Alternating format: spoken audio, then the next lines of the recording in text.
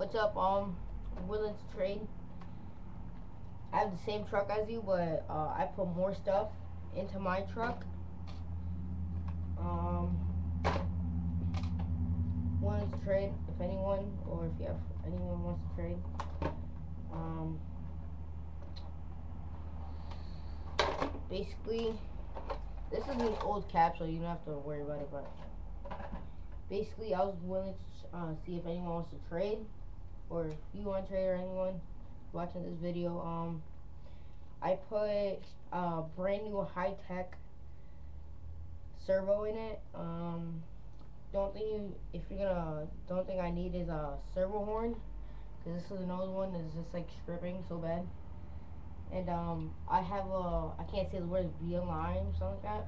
Motor, I got this for 130. Basically, it's more than 175.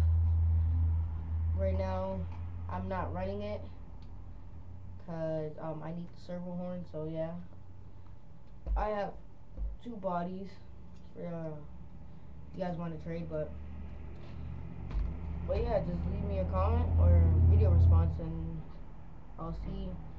Oh yeah, and I'm willing to do trades too. It's either I'm looking for like two, like night, like 200, or I'm willing to trade. It's either for the summit or or E-Revo.